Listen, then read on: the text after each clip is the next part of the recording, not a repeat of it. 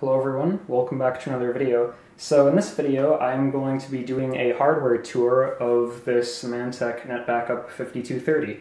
So of course as you can tell by the title I got this for free and with the arrays that I'm going to talk about later and everything it adds up to 106 terabytes unformatted and that's about 80 terabytes with the RAID 6 and with the drive formatting all added up.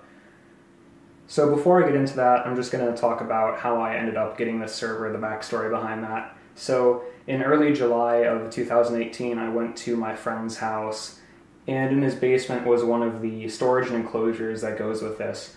And I pulled out one of the drives, and it was a 3 terabyte. The unit is a 3U array, and there are 16 drives. So if you do the math, 3 times 16 is 48 terabytes in one of those arrays.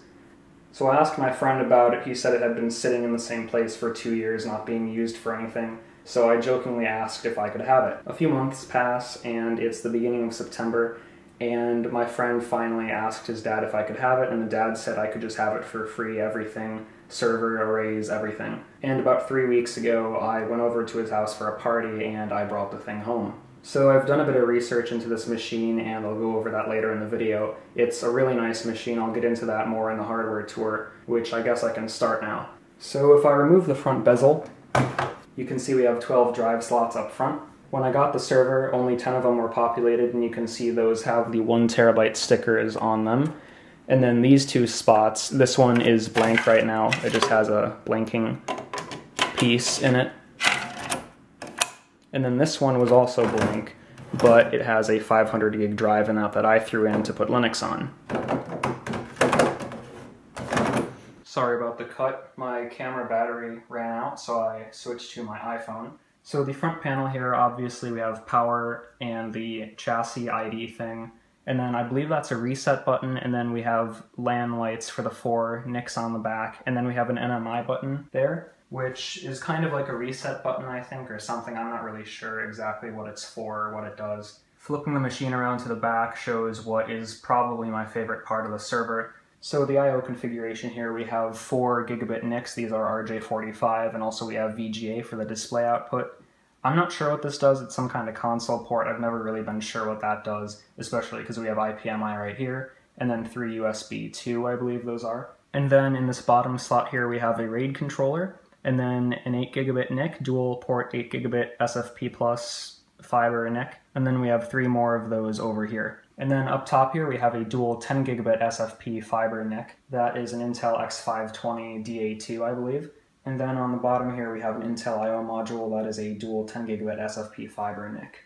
And then last but not least, we have our redundant power supplies. So this is a 1 plus 1 redundant configuration both of these power supplies are 750 watts and they are 80 plus platinum. I believe I can buy replacements of these from Intel, but they're like 250 bucks a piece, so hopefully they don't die anytime soon. So to get into the server, I have three Phillips screws here and then one back here. I'm to remove those. I forgot to mention if I can find one, I can remove the back plane and 12 by 3.5 inch drive system and install a 24 by 2.5 inch drive system up front. And I might actually do that, like I said, if I can find it, because I haven't had any luck and I doubt Intel still sells parts for this server. More on Intel later. So of course, opening the top of the server, I just have to slide off this top panel and then lift it off. So starting off up front, we have the fans. These are all Nidec UltraFlo 60mm fans, and they get loud when they're running full speed but it's barely audible when the server is at idle. So those, of course, are hot swappable, it looks like, so that's nice. And if I pan the camera over here and remove this, this is an air baffle that kind of directs the air more into the CPU heat sinks and everything and the RAM. So you can see we have quite a bit of RAM in here, also dual processors. Each of these processors is an Intel Xeon E5 2620. They're not called V1s, but I refer to them as V1s because they're earlier than V2s, I guess. Helps to understand what they actually are. And then as for the RAM, we have 24 RAM slots on the board, which is quite awesome. And eight of them are filled with these blanking plates, which leaves a total of 16 memory modules in here. So when I first opened up the server, I pulled one of these out, and let me see if I can get this one, or I'll just go with this one at the end because it's easier. if we flip it around here, there is nothing referring to the capacity of these DIMMs, but if you look up some of the numbers on the label, you will find that they are each 8 gigabyte modules of DDR3 ECC presumably. And of course earlier I said 16 modules in here, so 16 times 8 is 128 gigs of RAM. So I'll probably sell the RAM that I don't need, and it actually looks like I'll be pushing that with running ZFS on here because ZFS needs about a gig of RAM per terabyte of storage, and then plus I'm going to be running virtual machines on here when I deploy it. So if you look down into the server, there are many RAID controllers here. This one has two of these thick SAS cables. I'm not actually sure what those are called, but they use the SFF8087 connector.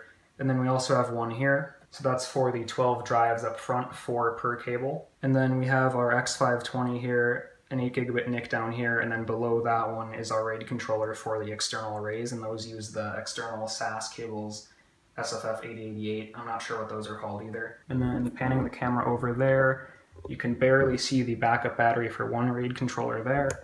And then over here on top of the power supplies, this one is for the others. So of course I talked about this earlier in the video, but we have four 8 gigabit NICs, each are dual port. So essentially eight 8 gigabit NICs. We also have dual dual port 10 gigabit NICs in here. So of course the X520 and the Intel I.O. module on the bottom there for a total of four 10 gigabit NICs. So I do plan on using those all for something. Basically, I heard about an operating system called VyOS, that's VYOS, and that would allow me to make all of these into basically a network switch. So I was thinking I'm going to have one of the 10 gigabit NICs, and that's going to be the I.O. module, be for the file server part of it. That will be given a dual 10 gigabit aggregation into a 10 gigabit NIC for the switch. And then I'm going to have one 10 gigabit NIC for my two client computers. And the rest 8 gigabit NICs are going to go out to my friends' computers. I'll also put my Intel Pro 1000 T4 in here, and that will give a 4 gigabit link to my 48 port gigabit switch that I'm getting. There are also 4 gigabit NICs in the bottom, and two of those will be for a router, and then the other two will probably be part of that switch. So this is one of the two arrays I was talking about.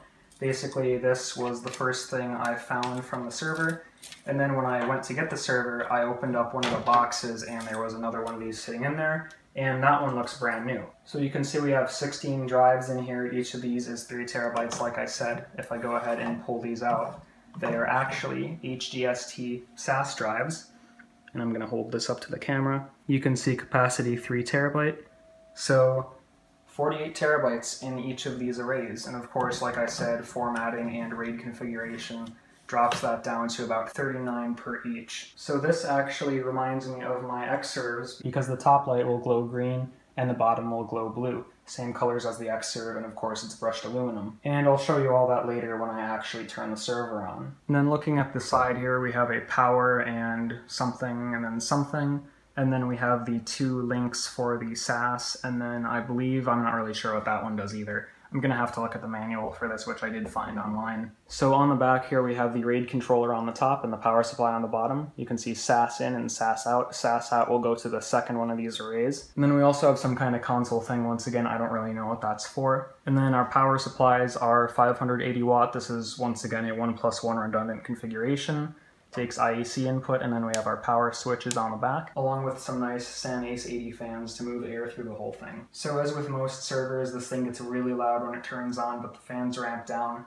This one's a bit louder than the server itself, but it has a nice hum to it, so that's okay. So just another thing that I kind of want to address is a few times I mentioned Intel. Of course, this is a Symantec branded server but I looked up some model numbers on it, and it turns out this is a rebranded Intel platform. So that's pretty cool. That means it can for sure run x86 operating systems, stuff like that. I think x86 operating system would be the right term as opposed to being Symantec proprietary. So the plan for this server is basically I am going to be moving out in the next 8 to 10 months I'm going to be moving in with some friends near college. So they are all gamers, and my plan was, along with using this as my file server, I'm going to be running a bunch of different things from it, such as a camera server, a caching server, because, like I said, they're gamers, and downloading Steam games is going to be a lot faster if I'm using the cache server. Especially because we're moving out, we might have a data cap as well. I'm also going to be hosting game servers and a website from here, stuff like that. One thing I do worry about is this machine alone consumes a lot of power. It'll idle at around 285 watts. And of course, that's a lot, especially because I'm going to be just moving out. It's going to be kind of hard to pay for the power bill. And then the arrays are going to be consuming probably the same amount together. So to counter that, I'm going to be upgrading the processors. I'm going to be throwing in Xeon E5 2630L V2s in here. So those of course are low power Xeons. And it's actually kind of funny. I believe the 2620 is a 95 watt processor and the 2630L V2 is a 60 watt processor, but the 2630L V2 is more powerful. So that will allow me to take quite a bit off of the power consumption here, especially because I'm going to be putting quite a heavy load on the server. Like I said, my friends will be getting 8 gigabit links through this server, though most of the time they're not going to be saturating it, might as well because it's pretty cheap to do that. And then the server is also going to be a router. The router will be tied into that switch, so that's how everyone will access the internet. I'm also going to be upgrading the hard drives in here, probably at least in the server. So the three bays on the left side are probably going to get SSDs, and that will allow me to have an unraid cache because I'm running unraid on here.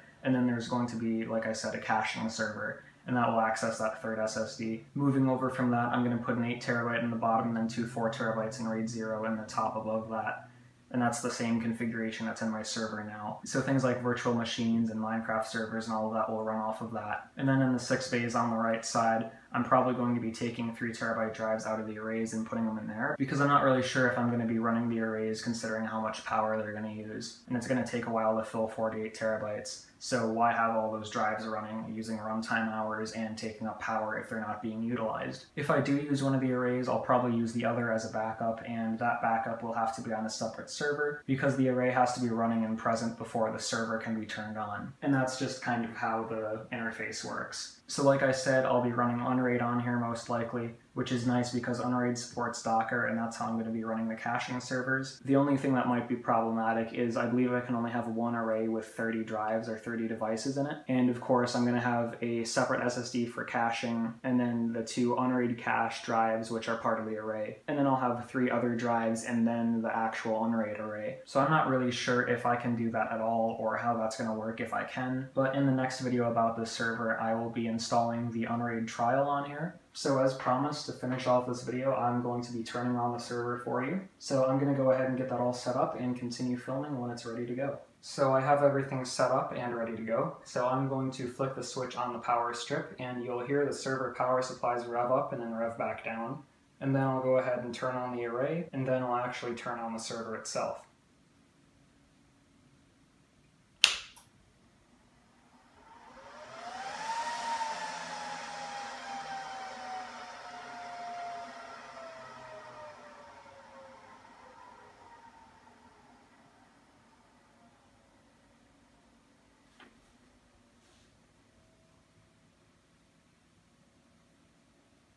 So now I'm going to go ahead and turn on the RAID array.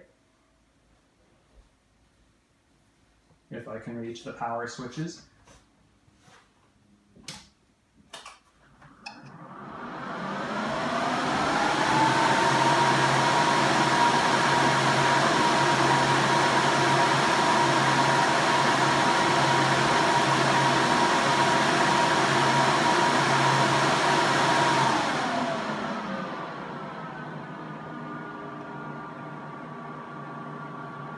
So as I'm sure you heard, it starts up pretty loud, but then the fans rev down to a kind of quiet, still certainly audible level.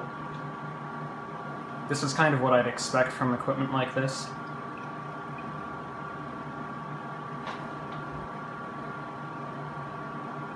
And then you're probably just barely able to see it. The blue lights on the drives are all coming up. And of course these do staggered spin up. So with the array online, we can go ahead and fire up the actual server. So come to think of it, I should have warned you about the sound from the RAID array, so I guess this is my chance to redeem myself. The server is also pretty loud when it turns on, so just get prepared if it gets too loud, headphone users, you know. So when I hit the power button, you're going to see some text come up on the top left corner of the screen, and then shortly after that the fans will rev up and then die back down.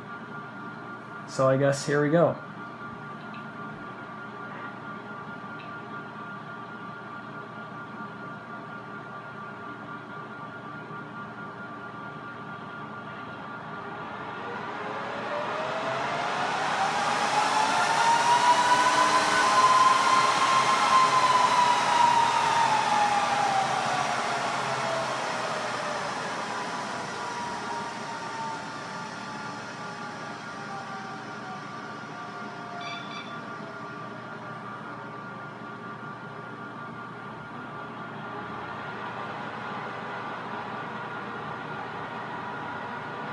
So this is about how loud the server normally is. It takes about five minutes to get into an operating system as well, because it has all the NICs and RAID cards to initialize.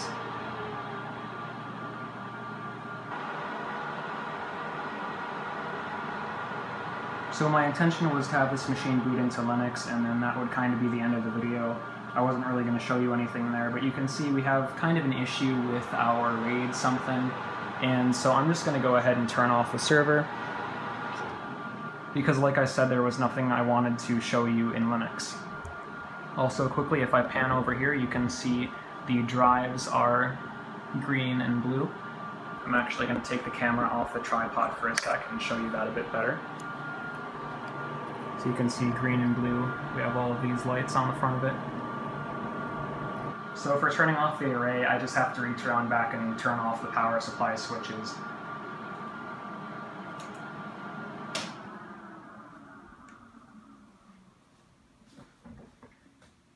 Go, all is quiet. So yeah, that's really all I have to say about the server. So I guess thank you for watching, I hope you enjoyed, and I will see you in the next video.